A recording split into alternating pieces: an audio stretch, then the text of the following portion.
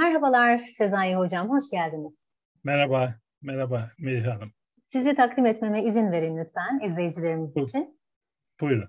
İstanbul Üniversitesi Cerrahpaşa Tıp Fakültesi, Kadın Hastalıkları ve Doğum Anabilim Dalı, Reproduktif Endokrinoloji ve Tüp Bebek Emekli Bölüm Başkanı Profesör Doktor Sezai Şahmay bizimle. Tekrar hoş geldiniz. Ee, şöyle devam edelim mi? Çikolata kistlerine geçiyoruz. Hemen bir zoom yaptık o tarafa. Kendi deneyimimle sormak isterim izninizle. 19 yaşında çok ciddi e, rahimde ağrıları sebep olan çikolata kistlerim vardı. İlk olarak doktora gittiğimizde derhal ameliyat denildi. Patlar ve kana karışır sıvı bir oluşum yani çok korkunç bir tablo duyduk. Özetle 3 ayrı doktora gittim o dönem. İlk iki doktor kesinlikle ameliyat dedi. Üçüncü doktor dedi ki bir dakika yaşın 19 ve her ameliyatın bir komplikasyonu vardır.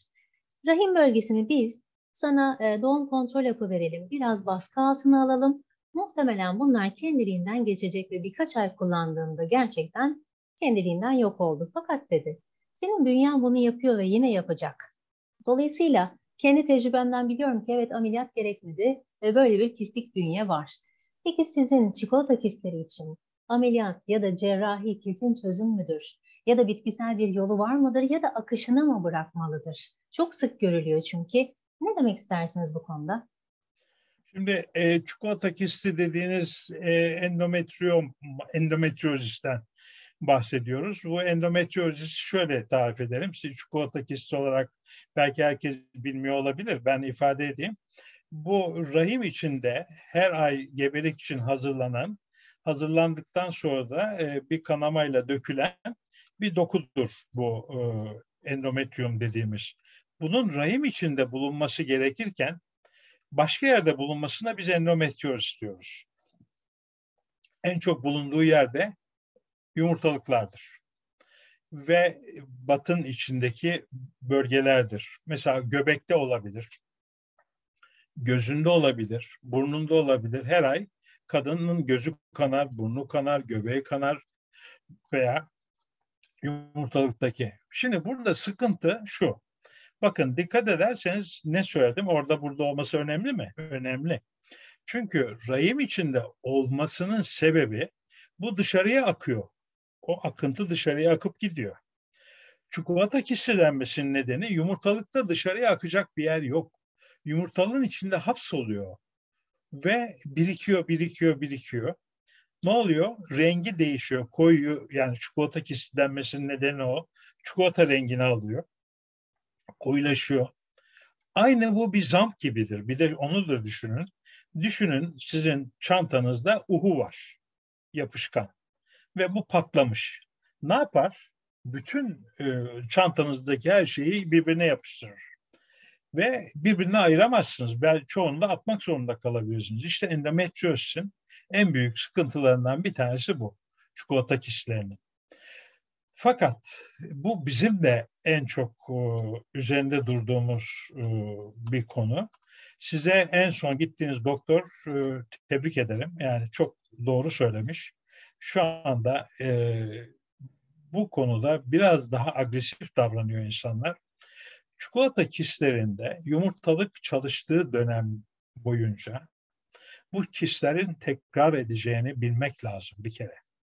Bu madde bir.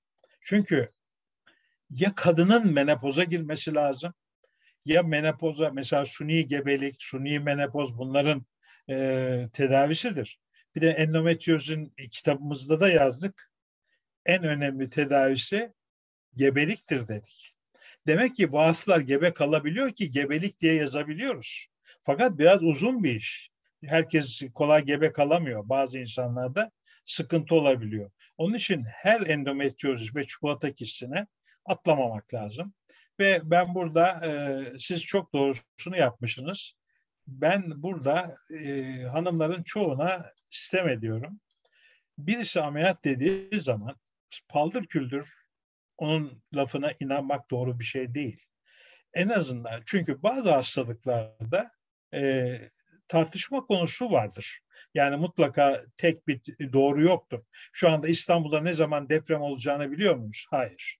Aynı onun gibi biyolojiyle uğraştığınız zaman kesinlik bir zaman birçok zaman olmayabilir. Onun için birkaç görüşe ihtiyaç olabilir. Size en son doktorun söylediği gibi benim böyle o kadar çok hastam var ki e, sonunda ben ameliyat olmamaya zor ikna ediyorum. Ameliyat diyen beş tane adamdan sonra. Hepsi ameliyat demiş. Şu, patlarsa şöyle olursun, patlarsa şöyle olursun, patlamazsa şöyle olursun. Fakat bunları anlatmak ve ondan sonra da hastayı izlemek en güzelidir. İzlediğiniz zaman mesela şimdi çok güzel bir laf ettiniz. Siz farkında olmadan çok büyük bir topluluğa e, iyilikte bulundunuz. Doğum kontrol hapları dediniz. Şu anda genç bir kızın doğum kontrol hapı kullanmasını bir türlü kabul ettiremiyor insanlar halen bu dönemde. Çünkü doğum kontrol haplarının büyük bir kısmı başka amaçlarla da tedavi için kullanılıyor. İşte en büyük kullanıldığı yerlerden bir tanesi endometriozislerdir, endometriomalardır. Bu hastaların e, takibi e, gerekir. Takibinde yani ben bu, meslek hayatımda bugüne kadar çok şükür başıma gelmedi ama e, bir kötüye dönüşen herhangi bir şey görmedim ama birkaç tane vaka duydum. Yani çok nadir olan bir şeydir bu e, kötüye dönüşmesi. O da büyüklüğünden e, izleme esnasında falan zaten belli olur. Onun için çikolata e, şey e, çikolata kistlerinde bir kadına e, hele hele uygun olmayan bir cerrah tarafından yapılan müdahaleler e, yumurtalığının kaybına sebep oluyor. Benim e, şu ana kadar 4-5 tane böyle hastam oldu maalesef bunlar sizin gibi genç yaşta çikolata kisti olmuş ve yumurtalığının tekini almışlar.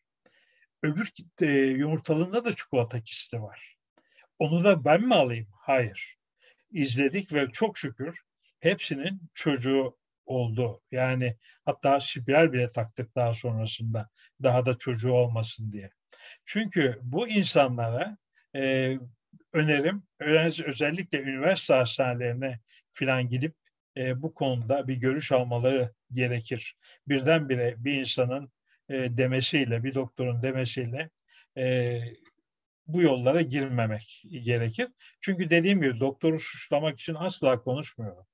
Çünkü bazı konular gri zondur. Yani e, şöyle de yapılabilir, böyle de yapılabilir, şöyle de olur, böyle de olur diye bu insanlar tedavi edilebilir.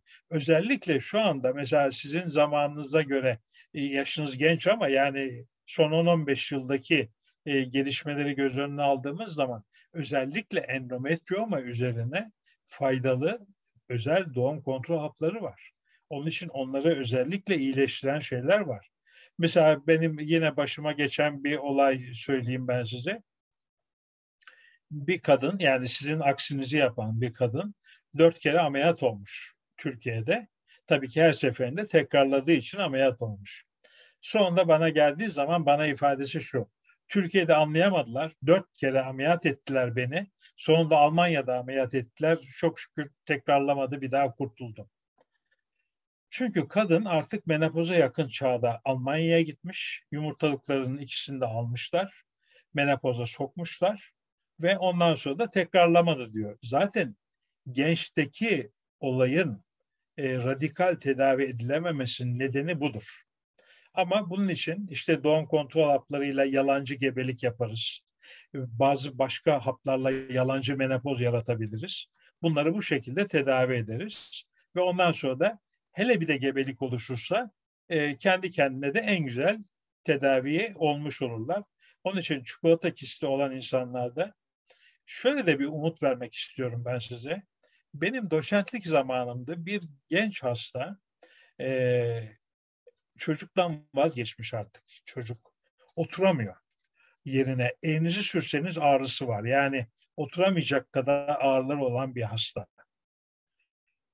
Perişan bir vaziyette yani kadıncağız. Ee, ben yeter ki diyor bu ağrılardan kurtulun.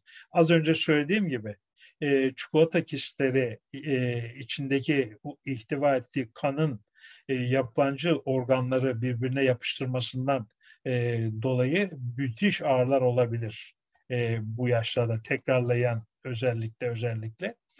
Bu kadıncağız da bu şekilde geldi. Çocuktan vazgeçmiş fakat biz ona biraz tedavi yaptık. Şansımız da yaver gitti.